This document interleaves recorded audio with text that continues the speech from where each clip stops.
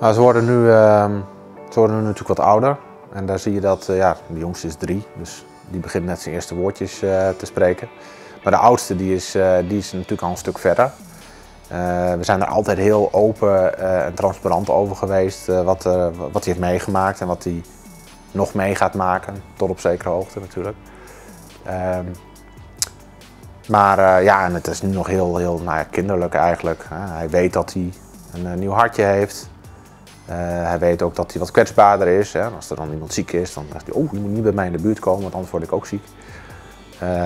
En op school hebben, heeft hij het er ook over met, met vriendjes. Die zeggen ook, hey, jij bent nieuw hard hè? Ja, dat klopt. Oh. Hoe is dat dan? En vind je dat erg? Nou, dat zijn zulke soort vragen. Maar zijn natuurlijk nog, hij is natuurlijk nog niet oud genoeg om echt, echt te beseffen wat dat betekent. en betekent heeft voor, voor ons als, als ouders, maar ook niet wat, het, eigenlijk wat hij heeft meegemaakt, dat, dat kan hij helemaal nog niet overzien.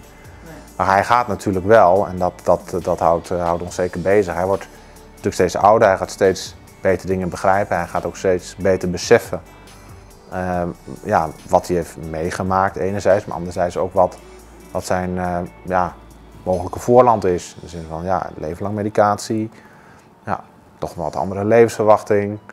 Zijn oorzaak van zijn hartaandoening is, is niet bekend, dus ja, uh, als je kinderen wil krijgen, is dat dan verstandig? Hè? Hoeveel kans uh, heb je dat jouw kind dat eventueel ook krijgt?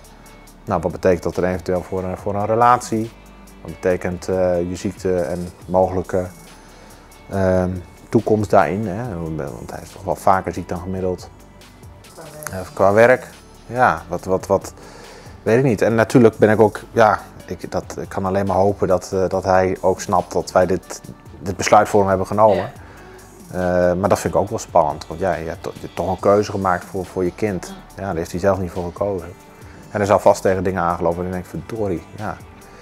Nou, daar zit ik nou ook niet bepaald op te wachten. Ja, als ik dat had geweten. Maar ja, dat, uh,